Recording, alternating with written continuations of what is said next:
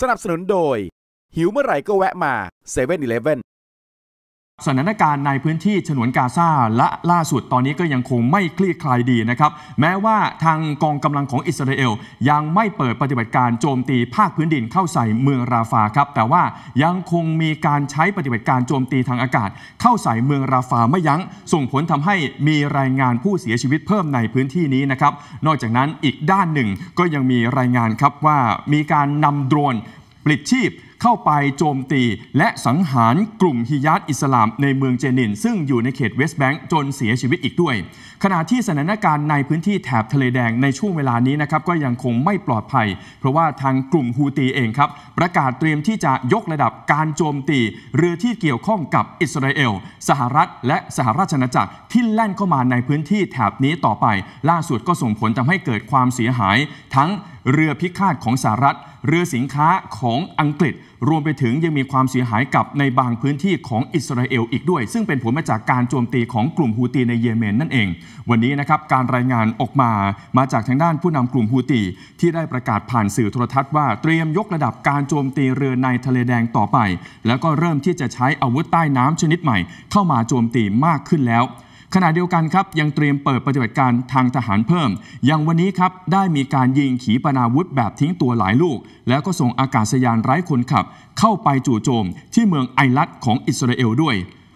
ขณะเดียวกันก็มีปฏิบัติการควบคู่กันไป เกิดขึ้นในอ่าวเอเดน ที่เรือของกลุ่มฮูตี ได้ยิงขีปนาวุธโจมตีเป้าหมาย เข้าใส่เรือของอังกฤษที่ชื่อว่าไอซ์แลนเดอร์จนทำให้เกิดไฟไหม้ที่เรือดังกล่าว และปฏิบัติการที่ 3 ครับ ก็คือกลุ่มฮูตีได้ส่งอากาศยาน ไร้คนขับหรือว่าโดรน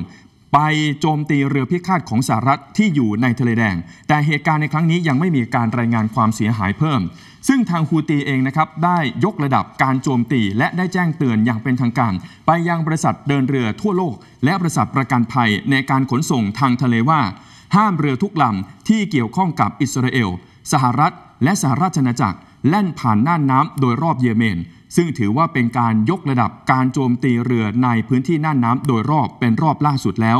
ซึ่งที่ผ่านมาครับผลกระทบจากการโจมตีหลายรอบของฮูตีเข้าไปยังเรือขนส่งสินค้าที่แล่นเข้ามาในพื้นที่ทะเลแดง ได้ส่งผลกระทบต่อภาพรวม ต่อระบบการขนส่งทางทะเลทั่วโลกไม่น้อยกว่าร้อยละสิบ จนทำให้บริษัทขนส่งทางเรือต้องตัดสินใจใช้เส้นทางที่อ้อมไกลกว่าเดิม ก็คืออ้อมไปทางใต้ของทวีปแอฟริกาแทน จนส่งผลทำให้ค่าใช้จ่ายในด้านการขนส่ง ต้องปรับตัวสูงขึ้นตามมา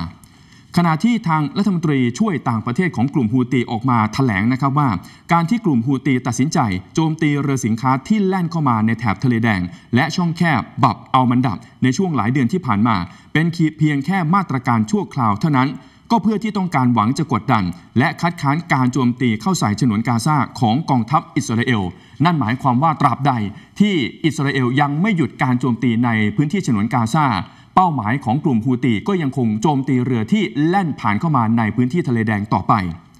ขณะเดียวกันครับ ถ้าไปดูสถานการณ์การสู้รบในพื้นที่เขตฉนวนกาซา อิสราเอลก็ยังคงโจมตีในพื้นที่หลายเมือง ทั้งเขตกาซากลาง และกาซาใต้ รวมไปถึงพื้นที่เขตเวสต์แบงก์ ล่าสุดยังมีเรือไม่ทราบฝ่ายครับระดมยิงเข้าใส่ที่เมืองราฟา เป็นการรายงานว่าเป็นเรือติดอาวุธลำหนึ่ง ที่วิ่งเลียบแถวแถวชายฝั่งของเมืองราฟา ก่อนที่จะยิงโจมตีเข้าใส่ที่เมือง และก็แล่นหายไป โดยยังไม่มีการรายงานว่าเป็นเรือของฝ่ายใดกันแน่ ส่วนเป้าหมายการยิงเที่ยวนี้ดูเหมือนจะเป็นเรือลำหนึ่งที่กำลังแล่นเข้าไปจอดในเมืองราฟาด้วย ส่วนเมื่อวานครับ อิสราเอลยังใช้ปฏิบัติการโจมตีทางอากาศเป็นหลัก เข้าใส่พื้นที่ฉนวนกาซาตอนกลาง และที่เมืองราฟาที่อยู่ทางใต้ ส่งผลทำให้มีผู้เสียชีวิตเพิ่มไปอีก 48 คน โดยจากการรายงานของหน่วยงานสาธารณสุขพบว่า อิสราเอลในช่วงตลอดวันสองวันที่ผ่านมา ได้โจมตีทางอากาศเข้าใส่เมืองราฟาไปอย่างน้อยๆ 7 ครั้ง ส่งผลทำให้มัสยิดที่อยู่ภายในเมืองเสียหายไปหนึ่งแห่ง พร้อมกับอาคารบ้านเรือนที่อยู่โดยรอบมัสยิดก็พังเสียหายไปพร้อมกัน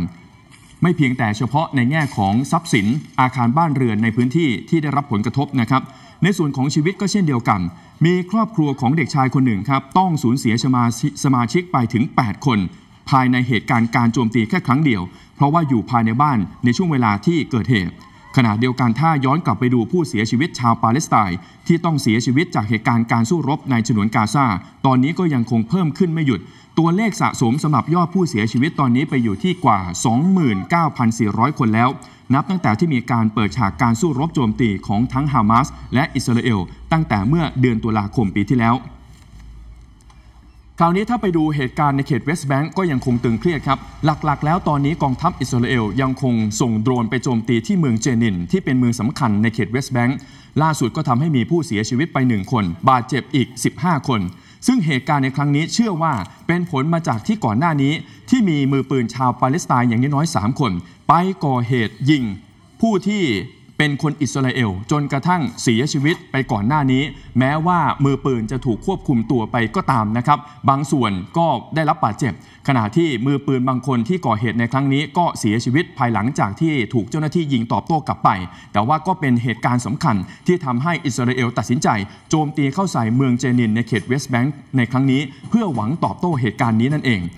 โดยทางการอิสราเอลนะครับอ้างว่าผู้ที่เสียชีวิตในเมืองเจนิน ก็คือยัสเซอร์ฮานูน ซึ่งเป็นแกนนำสมาชิกกลุ่มญิฮาดอิสลามปาเลสไตน์หลังจากถูกโจมตีทางอากาศเข้าใส่รถยนต์ที่เป็นเป้าหมายสำคัญ ส่วนท่าทีของประเทศอื่น อย่างเช่นแอนโทนีบลิงเคนรัฐมนตรีต่างประเทศของสหรัฐก็ออกมาแถลงเป็นรอบล่าสุดนะครับว่าในระหว่างที่การประชุมรัฐมนตรีต่างประเทศ ของกลุ่มประเทศเศรษฐกิจขนาดใหญ่หรือว่ากลุ่ม G20 เกิดขึ้น ที่เมืองเรโอเดจาเนโรของบราซิลความเห็นของทางการสหรัฐก็คือต้องการที่จะเร่งดำเนินการ ในการที่จะบรรลุข้อตกลงในการปล่อยตัวประกันในเขตกาซาที่ตอนนี้ยังคงถูกควบคุมตัวอยู่ทั้งหมดประมาณ 130 กว่าคน และต้องการที่จะทำให้เกิดการหยุดยิงของทั้งสองฝ่าย เพื่อที่จะเปิดทางนำไปสู่การช่วยเหลือทางด้านมนุษยธรรม เข้าไปในพื้นที่มากขึ้นกว่าเดิม โดยทางด้านรัฐมนตรีต่างประเทศของสหรัฐนะครับได้ออกมาปกป้อง ในประเด็นที่สหรัฐได้ใช้สิทธิ์ยับยั้งหรือว่าวีโต้รอบล่าสุดต่อร่างมติคณะมนตรีความมั่นคงหรือว่า UNSC ที่มีการเรียกร้องให้หยุดยิงในเขตกาซาแบบทันที โดยทางสหรัฐให้เหตุผลว่า ร่างมตินี้ไม่ได้ระบุถึงตัวประกันที่ยังคงถูกควบคุมตัวอย่างชัดเจน แล้วก็มองว่าในช่วงเวลานี้ไม่ใช่เวลาที่ดีมากนัก ในการทำให้เกิดการหยุดยิงในเขตกาซา นี่คือเหตุผลของทางสหรัฐนะครับ แต่ว่าถ้าย้อนกลับไปที่ผ่านมา ทางสหรัฐก็เคยใช้สิทธิ์วีโต้ร่างมติ UNSC ไปแล้วทั้งหมด 3 ครั้ง ในฐานะที่เป็น ชาติสมาชิกถาวรของกลุ่ม รวมไปถึงครั้งล่าสุดนี้ที่เป็นครั้งที่ 3 นับตั้งแต่ที่เกิดการสู้รบ ระหว่างอิสราเอลกับฮามาสในฉนวนกาซาตั้งแต่เมื่อเดือนตุลาคมปีที่แล้วครับ ขอบคุณสำหรับการติดตามรับชมในทีเด็นข่าวค่ำนะครับ อย่าลืมครับ ถ้าหากว่าไม่อยากจะพลาดการติดตาม กดไลค์กดแชร์ กด Subscribe แล้วก็กดที่รูปกระดิ่งนะครับเพราะว่ายังมีคลิปที่น่าสนใจ รอให้ติดตามอยู่ในข่าวทีเด็นครับ